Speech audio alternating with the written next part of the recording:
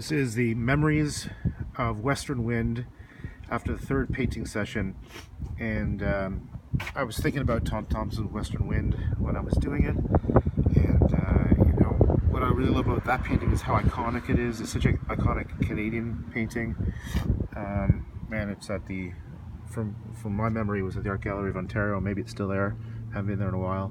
When you first walk into the Group of 7 section, which I love and uh, you know it's okay.